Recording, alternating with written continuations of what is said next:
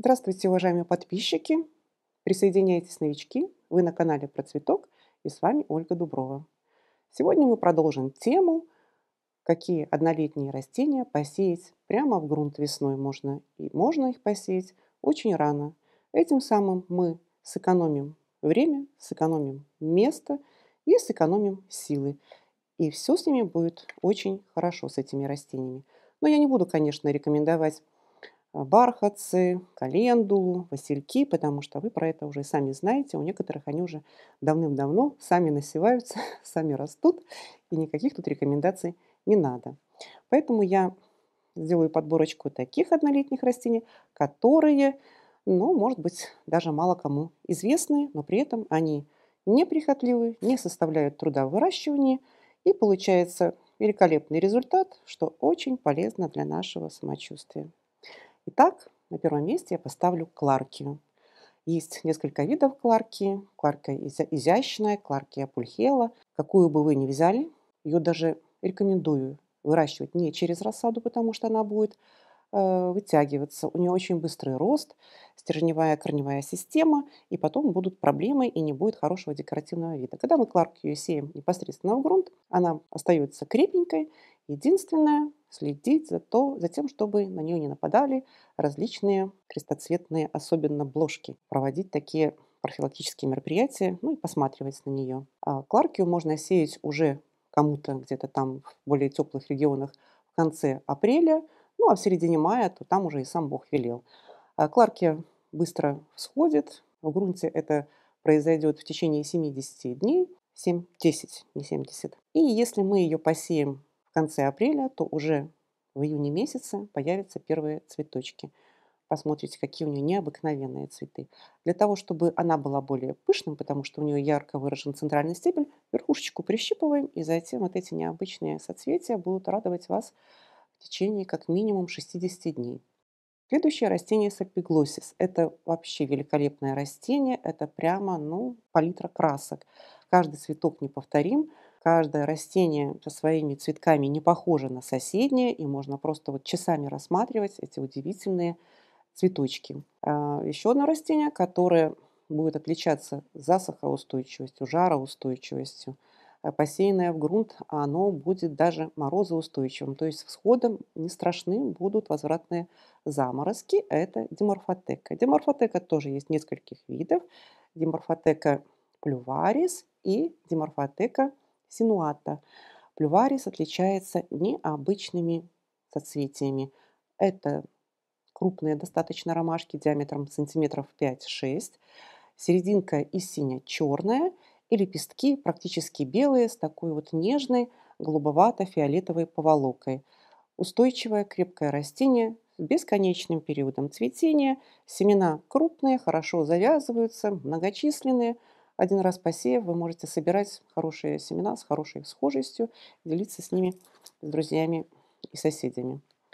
А, растения, которые можно выращивать тоже посевом в грунт, хотя, кажется, не может такого быть. Это мирабелис с таким красивым названием. Мирабелис образует потом не просто корешочки, а такие клубешки. Поэтому один раз посев, вы можете в принципе, и собрать семена. Семена классные, крупные такие. Потом вам поближе покажут. Они такие вот, ну, просто вот бочонки с поросячьими рыльцами на конце. И можно собирать семена, которые в обилии завязываются. А можно, если какой-то сорт уникальной раскраски, то можно сохранить вот этот вот клубень в горшочке, как будто бы мы сохраняем маленькую георгинку. И на следующий год поставить на проращивание, и у вас вообще будет просто вот раннее такое цветение мирабелиса. Мирабелис образует такого семечки в течение трех месяцев крепкий, компактный куст, который снизу даже слегка древесневает. Здоровые листья, такие похожие даже до сирень можно спутать. Я никогда не замечала за свои годы работы, чтобы он поражался кем-то или чем-то. Может, так вот не, не привелось. Но Рядом патогенов было много, а он стоит себе с такой сочной темно-зеленой листвой. Отличается еще многообразными окрасками от белой, желтой, пестрой, розовой. Есть сорта более компактного роста, которые можно посадить даже э, в горшок, в какое-то кашпо и поставить в нужном месте. Ну, короче, вот отличное растение. Следующее растение, которое, наверное, мало известно, это немофила. С немофилой тоже проблем не будет. Немофила чисто однолетнее растение с однолетним циклом развития, семена завязала, и на этом ее жизнь закончилась, как бы вы ее не валяли. А, она может быть использована не только как растущее в грунте растение, но и как почва покровная, а если вы посадите ее в кашпо, то она будет прекрасным дополнением, плети будут не спадать, растение образует такую хорошую подушечку с плетями сантиметров 40 сантиметров длиной и бесконечное цветение с многочисленными цветочками. Цветочки не маленькие, не крупные, сантиметра 4 в диаметре. Снова же есть несколько видов. А, немофила, которая называется мендиса, образует в основном а, ее сорта оттенки голубого цвета, а немофила, которая называется макулята, у нее очень красивые необычные цветки, и всегда, а, какого бы, какой бы основной окраски не был цветок, он может быть и белый, и голубой, все непременно будет присутствовать оригинальное темно-фиолетовое пятнышко на лепестке и прожилочки у основания. В Японии поинтересуйтесь в интернете, там проводят прямо а, такие дни и недели, когда за, засевают склоны огромные немофилы, и вот эти голубые поля, они смотрятся просто как моря. Бесконечные посетители, и все делают там обалденные фотографии. Поинтересуйтесь и заведите у себя это растение. А, всходы прорастают тоже достаточно быстро, через 5-7 дней. Ну и в дальнейшем весь уход будет заключаться в прорыхливании и удалении сорняков. Но не забывайте, что, казалось бы, георгина однолетняя, непременно ее надо через рассаду. Нет, не надо через рассаду. Сейте ее в грунт семенами, раскладывайте зернышки на расстоянии сантиметров 10 друг от друга, по штучке 2 на всякий случай, на всякие непредвиденные обстоятельства.